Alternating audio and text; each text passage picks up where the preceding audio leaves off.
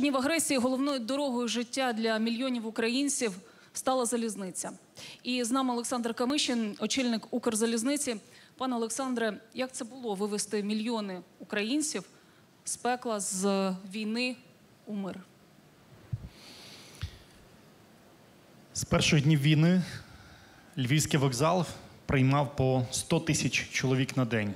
До війни це було 5 тисяч чоловік на день. І нам доводилось приймати нові правила разом з командою щодня постійно. Проїзд без квитку. Можливість першочергової посадки для жінок та дітей.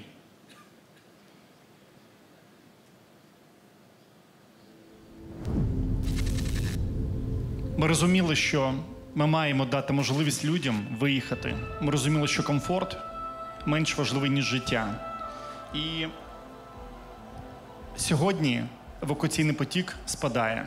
Так, є всплески тоді, коли обстрілюють міста. Наприклад, зараз ми додаємо ще один поїзд для тих, хто евакуюється з Нікополя. Але на сьогодні питання повернення українців, питання, як залишити тих українців, що залишилося, для нас ще важливіше, більш важливе навіть. І Укрзалізниця найбільший роботодавець.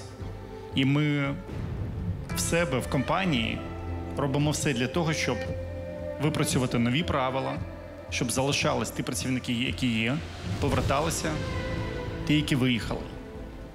Поділюся чотирма простими напрацювань, які ми маємо за цю війну, за ці 150 днів. По-перше, чесність сьогодні. Ми нікому в компанії не обіцяємо, що завтра війна закінчиться і завтра буде все, додо... все буде добре. Ми чесно розказуємо, що відбувається і як жити завтра.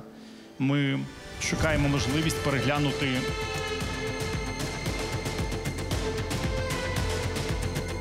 Я закінчу після відео.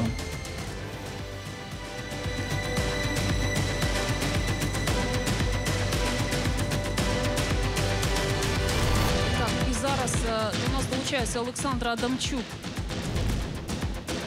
кореспондент.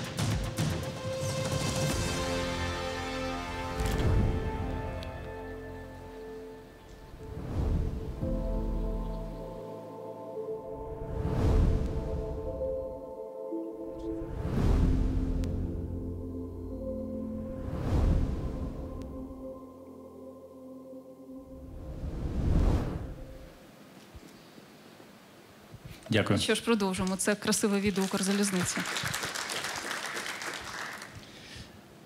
Чесність з працівниками це основа основ. По-друге, відбудова вже сьогодні. Ми не чекаємо закінчення війни. Ми відбудовуємо мости, відбудовуємо залізницю, відбудовуємо тягові підстанції, які б'ють, і їдемо далі. Працівники бачать, що ми не чекаємо, бачать, що ми будуємось.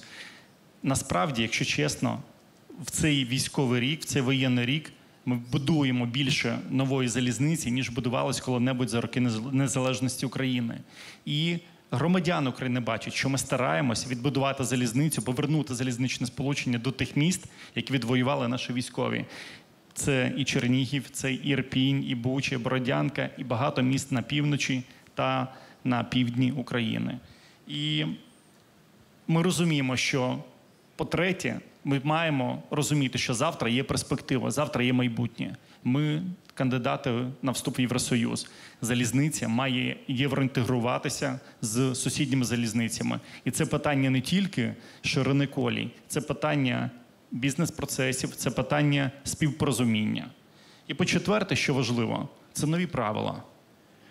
І для того, щоб українці повернулись додому, ми маємо показати їм, що вони повертаються в нову країну, в країну, в якій ще йде війна, ще небезпечно, але вже відновлюється інфраструктура і вже є можливість жити комфортно. І країну, в якій залишились речі, які вони любили, але з'явились речі, які полюбив весь світ. Бо світ полюбив нашого президента, нашу першу леді. Світ полюбив нашу армію, світ полюбив нашу залізницю, світ полюбив наш народ, нашу Україну, нову Україну. І ми потихеньку будуємо нову залізницю. А на наших очах будується нова Україна. Дуже дякую. І залізниця стала не лише дорогою життя, але й дорогою турботи. Щодня коліями із заходу на схід рухаються тисячі тонн допомоги для України. І навіть у цю мить цей рух не припиняється. І ось зараз з нами на зв'язку із Польщі наш кореспондент Олександр Адамчук. Саша, що у вас там зараз відбувається? Вітаю тебе, моя люба та рідна Україна. Вже за мить потяг з гуманітарним вантажем відправиться зі станції Щебжешин до Києва. 42 контейнери з продуктами, ліками, одягом та засобами гігієни. Цю допомогу зібрало урядове агентство стратегічних резервів із компаніями та приватними донорами з багатьох країн світу.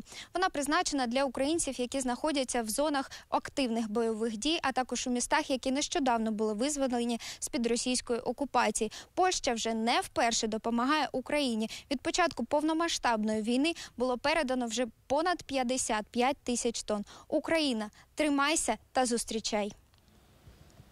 А зараз я хочу, щоб ми поговорили із нашою студією у Варшаві. І зовсім скоро з нами на зв'язку буде Барбара Соха. Це державний секретар Міністерства сім'ї та соціальної політики Польщі. І, власне, е, зараз ми поки налагоджуємо зв'язок. Я хотіла запитати, м, пане Олександре, е, до вас запитання.